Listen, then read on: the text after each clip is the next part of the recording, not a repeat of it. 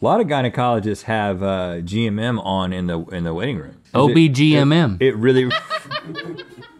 That's what we call it. It's a it's a it's a feed. It's actually the cameras down here Yeah. because they're more comfortable like seeing it from this angle. Welcome to OBGMM. We do that. It's we really well. Actually, it's just the show, but we put a pair of thighs in the foreground. That's your angle. You're leaning back and you're looking.